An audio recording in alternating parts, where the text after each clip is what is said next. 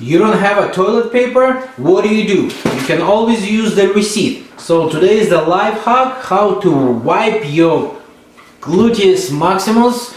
For everyone who missed the anatomy classes, it's a correct term for butt. How you wipe your butt with the receipt. Any receipt will do, especially this one, it says carbon tax on it.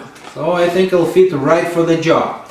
Step number one, you fold it once. I already did this presentation in our school in front of the teachers and the principal told me, well, you have to share this wisdom in front of the, you know, with the rest of the community. So that's what I'm doing.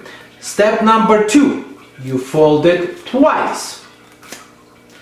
This technique originally come from Soviet Union.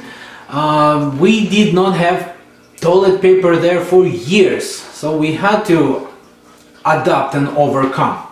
So after you fold it twice, next step you're gonna rip this corner off, like so. And you're gonna place it in your mouth, between your teeth, and you're gonna hold it there, like so. I'm not gonna do it because uh, uh, I have to talk. After you after you rip the corner off, you're gonna unfold the receipt and you're gonna pick your least favorite finger and you're gonna place it in that hole. Like so. And you in same time you still holding that little piece. Then comes the action part. Basically you do what do you do. And I'm gonna demonstrate it. You wipe your butt. After you're done you're gonna use this paper to clean the you know what? From your finger. Like so.